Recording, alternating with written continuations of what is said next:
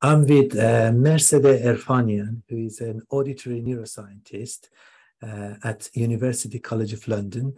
And uh, Mercede, thank you very much for joining me. I understand that you uh, you will be presenting at the sixth international conference on hyperacusis and misophonia, first and second of July at Birkbeck College, University of London. So tell us a little bit about what is it that you will be talking in the conference. Yeah, sure. Thank you for having me. Uh, basically, what I would like to be talking about at the conference is the results of our uh, paper that we published back in 2021. And that was a collaboration of several universities of um, University College London, where I'm based at, and also uh, the University of Newcastle and uh, University of Iowa. And uh, this was basically the continuation of Sukhbinder Kumar's work that was published back in 2017.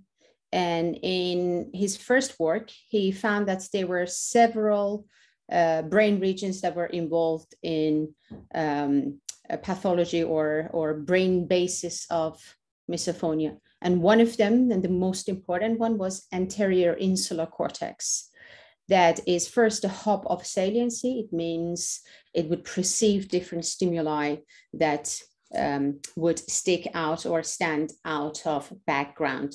Like you are in an acoustic environment and everything is so dynamic. Imagine you're in Camden Town and all of a sudden an ambulance passes by. The ambulance is loud with a specific frequency that would attract your attention. This is called saliency, which anterior insular cortex is involved in processing or perception of saliency. And also, it is responsible for emotional processing or emotion processing.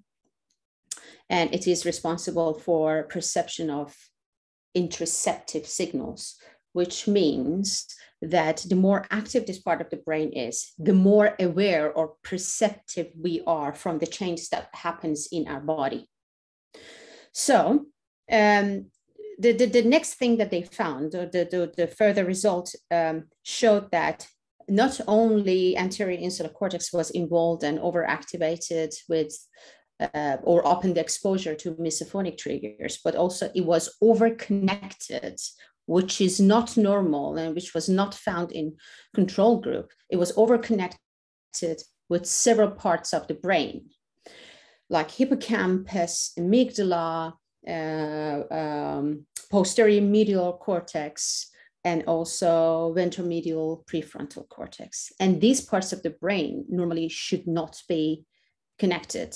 So when anterior insular cortex starts, for example, lighting up, it would send wrong signals to all these parts of the brain. That's why when, for example, the person or the sufferer is exposed to uh, sound triggers, they get angry or they get irritated is because of that overconnection with amygdala. So, so there's an area that needs to be activated when you hear certain sounds, but it doesn't have to alert other parts of brain. Um, but it does that in people with misophonia, and you have evidence uh, of that by looking at the past research. That is correct. Yes, that is correct. Like, compare me that does not have misophonia, do not have misophonia, with somebody that has misophonia. If I hear somebody chewing, my since my amygdala is not overconnected to anterior insular cortex, I won't get bothered by hearing those or listening those sounds. But since those two regions, for example, or hippocampus is uh, overconnected to anterior insular cortex, they, uh, for example, fight and flight uh, sets off or they start uh, mm, experiencing the increased physiological let's say responses and all those behavioral and emotional symptoms that we know about misophonia is because of this brain um, abnormalities. And you will be in the conference you will be reviewing several different studies on the same sort of line of the imaging and physiological if you like uh, yeah, yeah, sure. Yeah. So um, unfortunately, there are. Um, uh, I mean, I mean, uh, the the brain basis of misophonia is still in its uh, infancy. We are still trying to understand what else is happening in the brain of misophonic people. but there are a handful of, um, let's say, groups like um, uh, Medical Center of Amsterdam and University of Newcastle and University of uh, California, San Diego, I, I think, uh, have done like five or six studies together. the first study was done by Miren Edelstein back in 2013, and she looked at um, physiological correlates of misophonia. And they found, for example, upon exposure to misophonic triggers, um, sufferers' electrodermal activity increased, which is normally um, measured by skin conductance response, which was later also quantified by Kumar and his colleagues, uh, plus the uh, brain imaging that they did. Um, and also three or four works, three works, I believe, by University of Amsterdam, uh, which was leading by um, uh, Professor Damiaan Denys, uh, who was who actually supervised uh, the whole um, uh, project.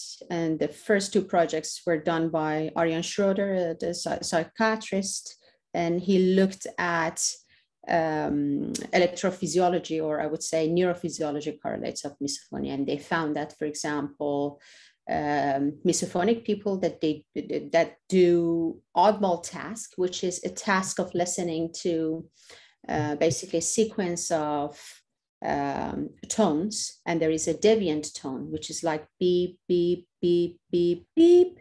It, when they listen to these deviant tones, in comparison with healthy people, they show a different different response, and there are different components to um, uh, event-related potentials, which are the potentials of EEG or electrodermal activity, and it seemed that it was abnormal in uh, in brain of misophonic people in response to uh, sound triggers. I'm going to then uh, be talking about the brain imaging they did back in 2019 in two new studies by uh, Eijsker, I believe. Um, Nadine Eijsker, uh, that is a PhD student in the University of Amsterdam. I'll be talking about them. And um, yeah, these are the only basically works that we have about so you're, uh, so you, you are a keynote speaker in, in the conference and the session of the uh, mechanism of misophonia and hyperacusis. So it is good that your your plan is to basically put everything in the context and creating this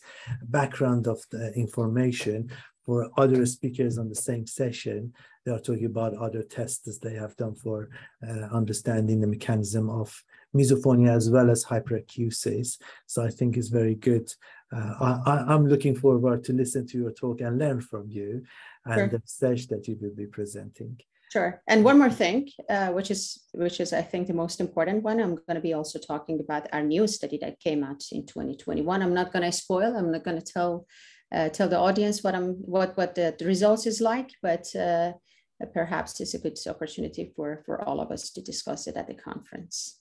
Fantastic. Yes. So something new that hot off the press. Always interesting to uh, to have in this sort of uh, event. So I look forward welcoming you to uh, to London on the press. You you would be in London yourself, but yeah. uh, in, in in the conference. And uh, thank you very much for your time. You're very welcome. See you then and there. Thank you.